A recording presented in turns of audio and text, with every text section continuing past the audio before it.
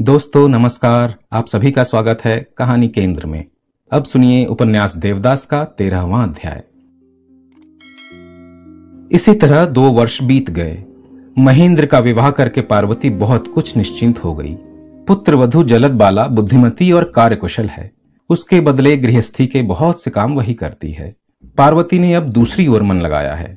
उसका ब्याह हुए पाँच वर्ष हो गए, लेकिन कोई संतान नहीं हुई। उसके अपने बाल बच्चे नहीं हैं, इसलिए दूसरों के बाल बच्चों पर उसका बहुत अधिक अनुराग है। गरीबों और दुखियों की बात तो दूर रही, जिन लोगों के खाने पीने का भी कुछ ठिकाना नहीं है, उनके बाल बच्चों का भी अधिकांश खर्चा उसने अपने ऊपर ले लिया है। इसके सिवा देव मंदिर का काम धंधा करके, साधु सन्यासियों की सेवा करके और अंधों तथा लूले लंगड़ों की देखरेख करके ही उसके दिन कट रहे हैं।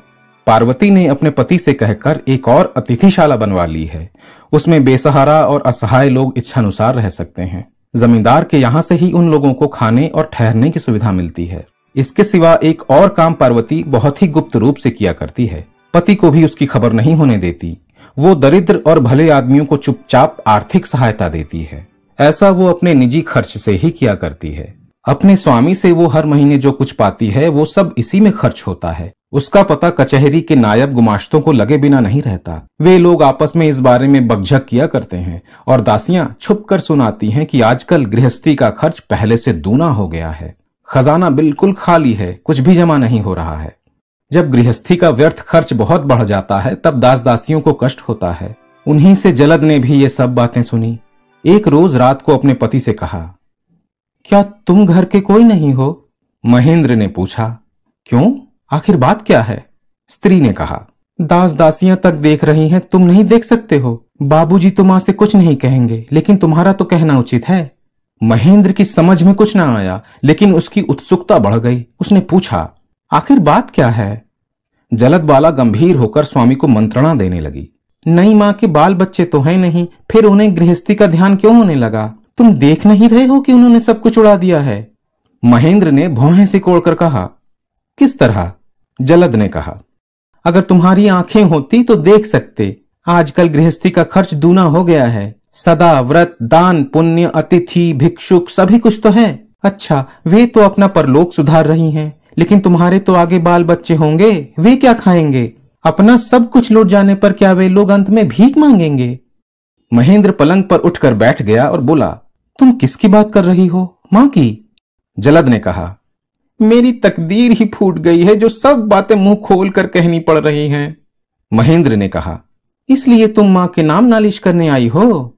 जलद ने कुछ नाराज़ होकर कहा मुझे नालिश फरियाद की ज़रूरत नहीं है। मैंने तुम्हें सिर्फ़ भीतरी बातें बता दी हैं नहीं तो अंत में तुम मुझे ही दोष देते।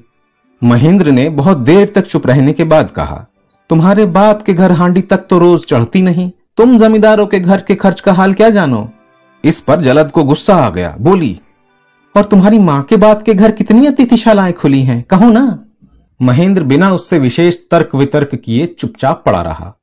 वो सवेरे उठकर पार्वती के पास पहुंचकर बोला, माँ, तुमने भी मेरा खूब ब्याह किया। इसके साथ तो गृहस्थी चलाई ही नहीं जा सकती। मैं तो अब कलकत्ता जाता हूँ। पार्वती ने अवाक होकर पूछा, क्यों बेटा? वो तुम्हारे बारे में कड़वी बातें कहती है। मैंने उसे छोड़ दिया। पार्वती इधर कुछ दिनों से बड़ी बहू का रंग ढंग देख रही थी, लेकिन उस भाव को दबाकर उसने हँसते हुए कहा, छी बेटा, वो तो बहुत अच्छी लड़की है। इसके बाद उसने जलद को एकांत में बुलाकर कहा, क्यों बेटी, कुछ झगड़ा हुआ है क्या? सवेरे से ही जलद अपने स्वामी की कलकत्ता यात्रा का आयोजन देखकर मन ही मन डर रही थी। सास की बात सुनकर रोने लगी और बोली, माँ, दोष मेरा ही है। लेकिन ये नौकरानियाँ ही खरच वरच के बारे में तरह तरह की बातें किया करती हैं। पार्वती ने सब बातें सुनी। उसने खुद ही लज्जित होकर बहू की आँखें पोछी और कहा, बहू, तुम ठीक ही कहती हो, लेकिन बेटी, मैं वैसी गृहस्थिनी नहीं हूँ, इसलिए खरच वरच का मुझे उतना ज़्यादा ख्याल नहीं था। इसके बाद उसने महेंद्र को बुलाकर कहा, बेटा, तुम बिना अपराध के क्रोध मत करो, तुम स्वामी हो यही ठीक है कि तुम्हारी मंगल कामना के आगे स्त्री के लिए और सब बातें तुच्छ हों। बहू तुम्हारी लक्ष्मी है। उसी दिन से पार्वती ने अपना हाथ खींचना शुरू कर दिया। अब अतिथिशाला और देव मंदिर की पहले की तरह सेवा नहीं होती। बहुत से अनाथ, अंधे और साधु फकीर यूँ ही वापस चले जाते। घर के मालिक ने यह सुनकर पार्वती को बुलाकर पूछा, क्यों जी, क्या लक्ष्मी का भंडार खत्म हो गया? पार्वती ने हँसते हुए कहा सिर्फ़ देते रहने से कहाँ तक काम चलेगा? कुछ दिन जमा भी तो करना चाहिए। देखते नहीं हो, खर्च कितना बढ़ गया है? बढ़ने दो। अब मुझे और कितने दिन जीना है? जो थोड़े से दिन हैं, उनमें सत्कर्म करके परलोक की तरफ़ देखना ही उचित है। पार्वती ने हंसकर कहा, ये तो बहुत ही स्वार्थियों जैसी बात है। सिर्फ़ अपना ही ख्याल रखोगे और बाल बच्चों को यूँ ही बह जाने दोगे। कुछ दिनों तक और शांत रहो, उसके बाद फिर सब होगा। आदमी के काम तो कभी खत्म नहीं हो जाते। चौधरी महाशय लाचार हो गए। पार्वती का काम धंधा अब कम हो गया, इसलिए उसकी चिंताएँ कुछ अधिक बढ़ गईं।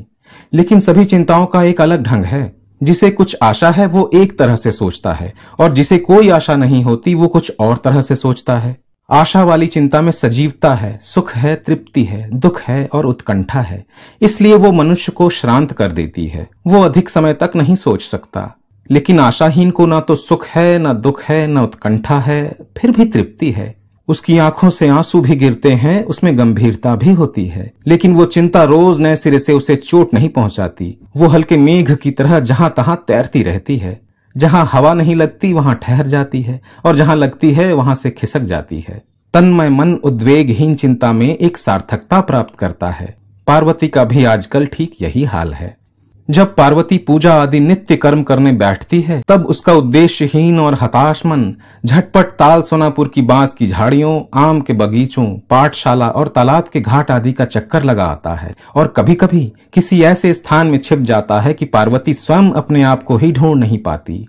आगे शायद कभी कभी उसके होठों के कोनों पर हँसी भी आ जाया करती थी, लेकिन आजकल तो उसकी आँखों से बस एक बूंद आँसू निकलकर पंचपात्र के जल में मिल जाता है। दिन तो भी कट रहे हैं। काम धंधा करने, मीठी बातें कहने और परोपकार और सेवा टहल करने में और सब कुछ भूलकर ध्यान मग्न योगिनी की तरह रहने में दिन कट जाते हैं। कोई उसे कहता है, लक्ष्मी स्वरूपा, अन्नपूर्णा, और कोई कहता है, अन्य मनस्का उदासिनी। कल सवेरे से ही उसमें एक और प्रकार का परिवर्तन दिखाई दे रहा है। वो मानो कुछ तीखी और कुछ कठोर हो गई है। परिपूर्ण और ज्वार वाली गंगा में मानो अचानक कहीं से भाटा आ गया है। घर का कोई आदमी उसका कारण नहीं जानता, सिर्फ़ हम जानते हैं। मनोरमा ने कल गाँव से एक पत्र लिखा है। पार्वती, इधर बहुत दिनों से हम लोगों में से किसी ने भी एक दूसरे को कोई पत्र नहीं लिखा है, इसलिए दोष दोनों का ही हुआ है। मैं चाहती हूँ कि एक समझौता हो जाए। दोनों ही अपना अपना दोष स्वीकार करके अपनी अपनी नाराज़गी को कम करें। मैं बड़ी हूँ, इसलिए मैं ही क्षमा मांग लेती हूँ। मैं आशा करती हूँ कि तुम शीघ्र ही उत्तर दोगी। आज प्राय एक मास हुआ है, मुझे यहाँ आए हुए। हम लोग गृहस्थ के घर की स्त्रियाँ ठहरी, इसलिए शारीरिक अच्छाई और बुराई पर उतना ध्यान नहीं देती। मर जाने पर कहती हैं कि गंगा लाभ हुआ है, और जब जीती हैं, तब कहती हैं कि अच्छी हैं। मैं भी इसलिए अच्छी हूँ, लेकिन ये तो हुई अपनी बात। कुछ इधर उधर की बात भी हो। इधर उधर की कोई ऐसी खास बात नहीं है तो भी एक खबर तुम्हें सुनाने की बहुत इच्छा हो रही है। कल से ही ये सोच रही हूँ कि तुम्हें ये समाचार दूँ या ना दूँ तो भी मुझसे रहा नहीं जाता। मानो मारीच की दशा हो रही है। देवदास का हाल सुनकर तुम्हें तो दुख होगा ही, लेकिन तुम्हारी हालत का ध्यान करके मैं भी बिना रोए नहीं रह सकती। भगवान ने बहुत ही रक्षा की, नहीं तो तुम्हारी जैसी आत्माभिमानिनी अगर उसके हाथ में पड़ती तो या तो अब तक गंगा में डूब मरती या जहर खा लेती, और रहा उसका हाल। सो आज सुनो तो भी सुनोगी, और दो दिन बाद सुनो तो भी सुनोगी, क्योंकि जो बात सारे संसार के लोग जानते हैं, उसे क्या छिपाना। आज छह सात दिन हुए देवदास यहाँ आया है। तुम ये तो जानती ही हो कि जमींदारिन काशीवास करती हैं, और देवदास कलकत्ता वासी हो गया है। वो घर आया है, सिर्फ़ अपने बड़े भाई के साथ झगड़ा करने और अपने रुपए लेने। सुना है कि वो इसी तरह बीच बीच में आया करता है, और जब तक रुपयों का इंतज़ाम नहीं हो जाता, तब तक ठहरता है। रुपए मिलते ही चला जाता है। उसके पिता को गुजरे ढाई बरस हो गए हैं। तुम्हें यह सुनकर आश्चर्य होगा कि इतने ही समय में उसने अपनी लगभग आधी संपत्ति उड़ा दी है। द्विजदास तो बहुत ही हिसाब से रहने वाला आदमी है, इसलिए उसने पैतृक संपत्ति किसी प्रकार अपने ही हाथ में रखी है। नहीं तो इतने दिनों में उसे भी दस आदमी मिलकर लूट लेते। लेकिन जो शराब और वेश्याओं में अपना सर्वस्व होम कर रहा है, उसकी रक्षा कौन करेगा? एक यमराज ही कर सकता है, और मालूम होता है कि उसमें भी अब अधिक विलंब नहीं है। खैरियत यही है कि उसने ब्याह नहीं किया। हाय, दुख भी होता है। न तो अब वो सोने का सा रंग है, न वो रूप है, और न वो श्री ही है। मालूम होता है कि ये और ही कोई है। सिर के रूखे बाल हवा में इधर उधर उड़ते रहते हैं, आँखें गड़े में धस गई हैं, और नाक खांडे की तरह आगे निकल आई है। अब मैं तुम्हें क्या बताऊँ कि वो कैसा कुत्सित हो गया है? देखने से ही घृणा और डर लगता है। दिन भर नदी किनारे बाँध पर बंदूक हाथ में लिए चिड़िया मारता फिरता है। और धूप में जब सिर घूमने लगता है, तब बाँध पर उसी बेर के पेड़ के नीचे सिर नीचा करके बैठा रहता है। संध्या हो जाने पर आकर शराब पीता है और रात को सोता है या घूमता फिरता है, ये भगवान ही जाने। उस दिन संध्या को मैं नदी से जल लाने गई थी। देखा कि देवदास हाथ में बंदूक लिए किनारे किनारे सूखा हुआ मुँह लिए चला जा रहा है। जब मुझे पहचाना तो पास आकर खड़ा हो गया। मैं तो मारे डर के मर ही गई। घाट पर कहीं कोई नहीं था। उस दिन मैं अपने आपे में नहीं रह गई। भगवान ने बहुत रक्षा की कि उस दिन उसने पागलपन या बदमाशी नहीं की। उसने बिल्कुल निरीह और भले आदमी की तरह शांत भाव से पूछा, क्यों मनो? अच्छी तो हो बहन। उस समय और क्या करती? डरते डरते सिर हिलाकर कह दिया हम्म। तब उसने एक ठंडी सांस लेकर कहा, तुम सुखी रहो बहन। तुम लोगों को देखकर मुझे बहुत आनंद होता है। इसके बाद धीरे धीरे चला गया। मैं उठती थी तो गिर गिर पड़ती थी। फिर भी शरीर की सारी शक्ति लगाकर भागी। मैया री, बड़े भाग्य थे कि उसने कहीं मेरा हाथ वात नहीं पकड़ लिया। अच्छा अब उसकी बातें जाने दो। अगर मैं उस दुर्वृत्त का सब वृत्तांत लिखने लगूं तो इस चिट्ठी में पूरा नहीं आ सकता। बहन, मैंने तुम्हें बहुत कष्ट दिया ना। अगर आज तक भी तुम उसे नहीं भूली हो तो तुम्हें कष्ट तो होगा ही। लेकिन उपाय ही क्या है? अगर मुझसे कोई अपराध हुआ हो तो अपने गुणों से अपनी स्नेहकांक्षणी मनोबहन को क्षमा कर देना।